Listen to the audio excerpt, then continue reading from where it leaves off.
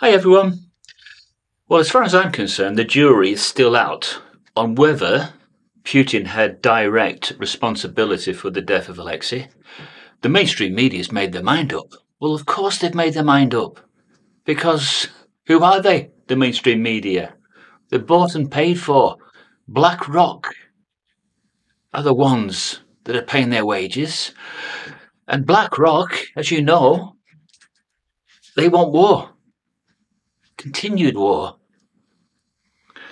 Forever wars. Now, there's something you need to consider, right? I'm going to say it in this order. Jeffrey Epstein, the mainstream media said he killed himself. That was a lie. Look what happened with um, the withdrawal in Afghanistan. Look how they left all that weaponry behind. How convenient that they would just abandon all that weaponry that could be used for wars. That was under Biden. All I'm saying is we mustn't jump to the most immediate conclusions. For all I know, they may have done, they may have decided to bring his life to an end at this point. And they may have done several attempts previously, up until this recent attempt. But what happens if it wasn't who you really think it really would be? And that would be Putin. What happens if it wasn't Putin? Because this is going to put Russia at such a disadvantage. But who is going to be in the driving seat? after this? Well, it's going to be the ones that are pushing through this billion pound, this billion dollar package of weaponry for Ukraine. Zelensky gives a talk earlier and says, "Oh, it's most definitely Putin." Well, of course he's going to say that. He's going to he's going to say that because he wants the billion dollar package of weapons. So let the jury stay out a bit longer. Let's not just jump to what the mainstream media is saying. They're putting food in our mouths right now as regards this. But look who the mainstream media are. They are the Freemason press who belong to BlackRock and they will sing the tune of BlackRock. And if BlackRock tells them, you tell the world it's Putin enough times, people will start to hate Putin even more, believing he has to be stopped. But this is their continued love for warfare. It will come out in the end because great secrets will be revealed in the last days. Now, we all in the past thought that COVID 19 came from a wet market. Why? Because that was the narrative that they were pushing. And it turns out that that was just a lie. And the mainstream media have pushed so many inaccuracies. And this could be another inaccuracy because there has been Russia hasn't come forward to carry out any investigation up to this point. So just be really careful now because this is thin ice. This is very thin ice. Can you now see how Biden gave that speech the other day, even though it wasn't very coherent, it was a bit bumbling? And can you see how he was threatening people who were going to stop the military package from going through? And now we have this occurrence. And they're now painting this man as someone who was a lover of democracy. I mean, as if you can say America are lovers of democracy. No, they're not. No, it's their version of democracy. It's their version of freedom. You know, it's you take it, or if you leave it, you become an enemy. But you must always bow to their version of events. So I'm not really, I'm not just going to, um, no, as sad as it is, I will just say that if someone's lost their life and all they've done is want the truth to be known, then that's a very sad thing. But all I'm saying is Putin and Russia have had many opportunities, haven't they? But the timing of this event, that should send a really stark warning. The timing of this is just immaculate. It's what you'd call pristine timing. That he loses his life just before they're about to push a military aid package through. And they just need something to get it over the line.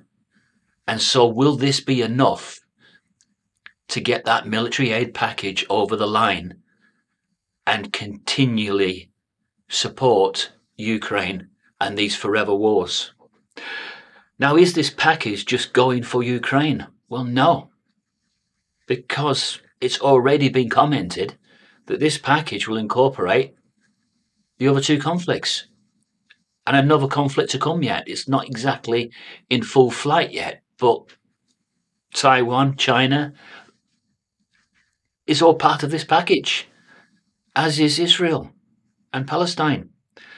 They've pushed through this package with three confrontations in mind. It's an evil world. But I am telling you that America is not white. They are not the white knight. And maybe people who have spoken up against them in the past, like Saddam Hussein when they call them the great infidel, the great Satan, maybe he knew more than uh, we gave him credit. Maybe that's what they are. Just a wolf in sheep's clothing.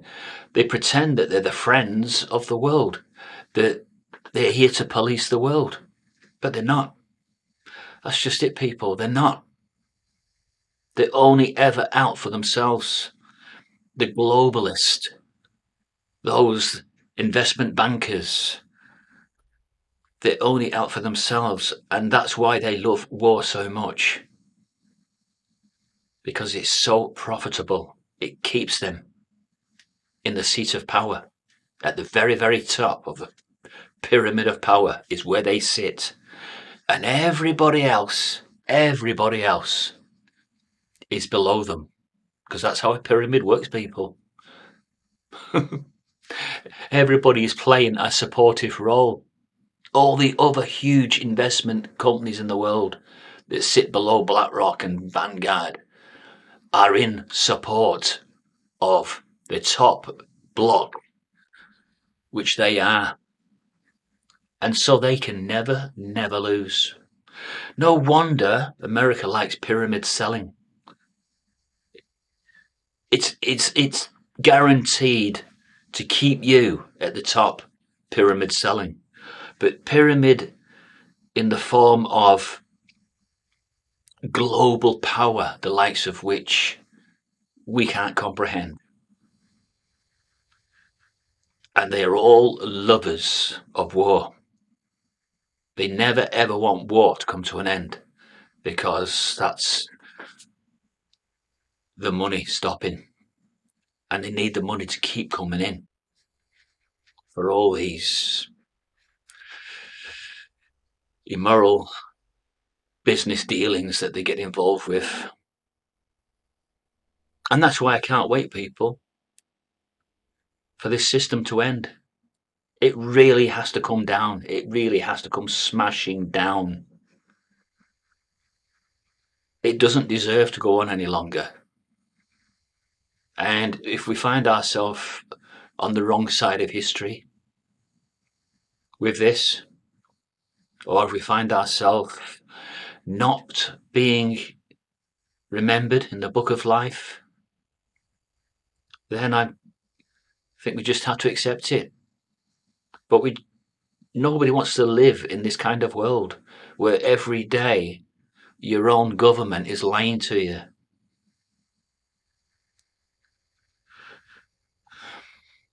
But I will finish off by saying that, you know, anybody that is standing up to tyranny in whatever form, and if Alexei was standing up to Russian tyranny and uh, and was campaigning for something better in Russia, then that's a good thing. But please stand back and look at uh, the whole picture here, because things won't be as black and white as the mainstream media want you to believe. It, they never are as black and white as what they say. There was a time when I used to think the mainstream media were always telling the truth, but they very rarely ever tell the truth. And we have so much proof of that with COVID and with Jeffrey Epstein and with all the other wars under Blair and under Bush and so many lies regarding the Twin Towers. And there's so many things that have happened where the mainstream media has been the first to tell you what it was, only for them to be found out to have been completely false. And they could well be false with this. So let's just let time tell on this, people, because I'm sure that the great secrets will be continue to be revealed. And that's why it's an exciting time to live in the book of Revelation, but scary at the same time. I'll see you.